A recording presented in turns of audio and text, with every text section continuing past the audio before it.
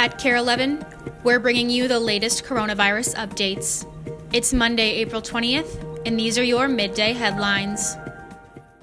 A bill proposed by Minnesota Representative Ilhan Omar would cancel rent and home mortgage payments nationwide for the duration of the coronavirus pandemic. The Rent and Mortgage Cancellation Act would establish full rent payment forgiveness with no debt buildup, regardless of income, it would also create a relief fund for landlords and mortgage holders to cover their losses from the canceled payments.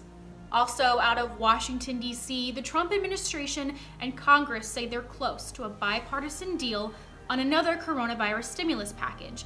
This one would provide a lot more money for small businesses. Included in the $450 billion bill, money for a payroll program, a disaster fund, and more money for hospitals and virus testing. Nearly 50 residents in a Wayzata assisted living facility have been relocated after a majority of the staff and some of those residents became sick with COVID 19.